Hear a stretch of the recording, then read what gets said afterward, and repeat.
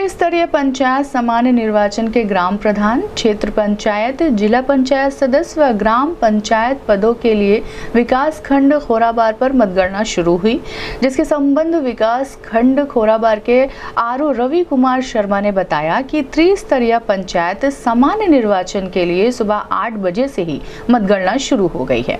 मतगणना के लिए सात काउंटर बनाए गए हैं, एक काउंटर पर चार टेबल है और चार टेबल पर एक एक मतगणना पर्यवेक्षक है। और तीन मतगणना सहायक हैं। इस दौरान सुरक्षा के कड़े इंतज़ाम किए गए थे। आपको बता दें कि मतगणना में आए प्रत्याशियों को मोबाइल फ़ोन या कोई भी इलेक्ट्रॉनिक गैजेट रखने पर रोक लगा दी गई है तथा बैलेट बॉक्स प्रत्याशियों के सामने ही खोला जा रहा है। उनके सामने ही वोटों की गिनती की जा रही है। इस संबंध में सीओ कैंट अजय कुमार सिंह ने कहा कि पंचायत चुनाव के मतगणना में आए प्रत्याशियों तथा उनके एजेंट के लिए पार्किंग की व्यवस्था मतगणना स्थल से 200 मीटर दूर की गई है तथा मतगणना कर्मी के लिए 50 मीटर दूर पार्किंग की व्यवस्था की गई है। उन्होंने बताया कि अनावश्यक घूमने वालों को बैरियर लगाकर रोका जा रहा है। उन्हीं प्रत्याशियों को जाने दिया जा रहा है, जिस गाँव की मतगणना की जा रही है। उन्होंने आगे कहा कि केवल पास वाले प्रत्याशियों को ही मतगणना स्थल पर जाने दिया जा रहा है तथा अंदर भी सतर्कता बरती जा रही है। मतगणना स्थल पर भी पुलिसकर्मियों की ड्यूटी लगाई गई है। उन्होंने बताया कि अनावश्यक घूमने वालों के ऊपर धारा एक सौ चौवालीस के तहत कार्रवाई की गई है। इस संबंध में गोरखपुर न्यूज़ से बात करते हुए खोराबार मतगणना मतगणना केंद्र के आर रवि कुमार शर्मा तथा सीओ कैंट अजय कुमार सिंह ने कहा।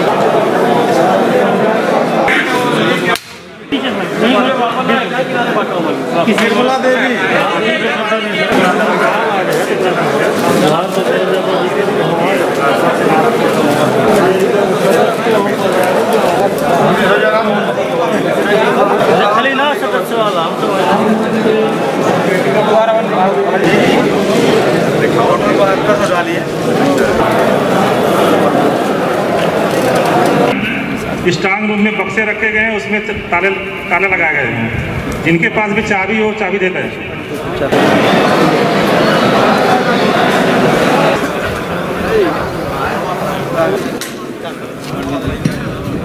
गणना करने भैया, आप लोग अपने हाथ को तेज़ी से चलावें और प्रयास करें कि जल्दी से जल्दी गणना आगे बढ़ा लेंगे नहीं तो कल सुबेरे वाली टीम में आप लोगों सबको आना पड़ेगा।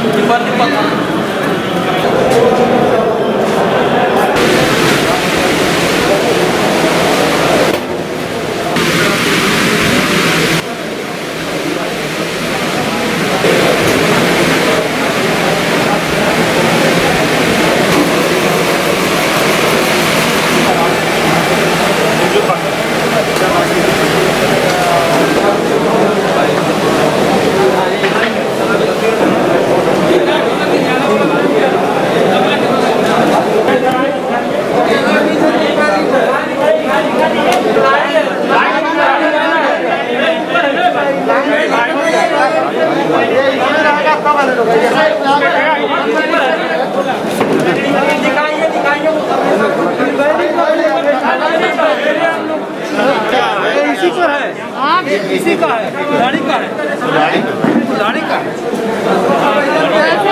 कुल्हाड़ी का बीचों बीच है कुल्हाड़ी का है कुल्हाड़ी का है वैलिड हो जाएगा वैलिड वैलिड सभी यादव इसको सुनिश्चित करेंगे कि जो भी गणना कर्मी लगे हैं वो अपने कार्य में तेज़ी लाए ताकि जल्द से जल्द मतगणना का कार्य पूर्ण कराया जा सके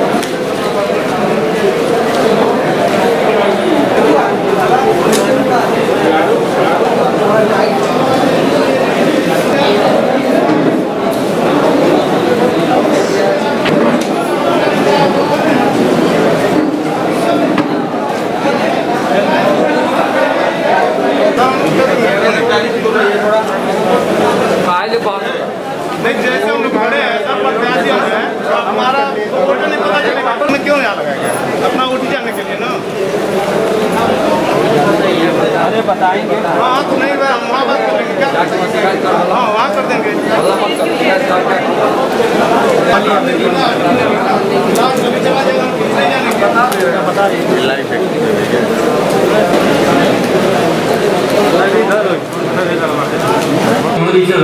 कृपया तुरंत सभा कक्ष में आए। सफ़ाई कर्मी बालचंद और हरिचरण कृपया तुरंत सभा कक्ष में आए।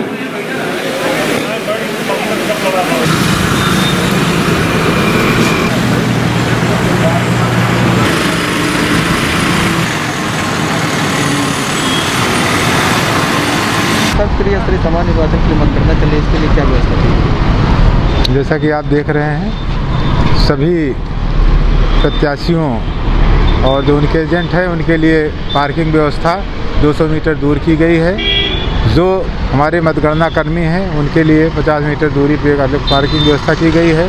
बैरियर लगा करके सब वाहनों को रोका जा रहा है। सभी लोगों को, जो प्रथम चक्कर की अभी मतगणना शुरू हुई है तो जिस गाँव का चुनाव हो रहा सिर्फ़ उन्हीं प्रत्याशियों को, उन्हीं के एजेंटों को जो है तलाशी के बाद अंदर प्रवेश किया गया है।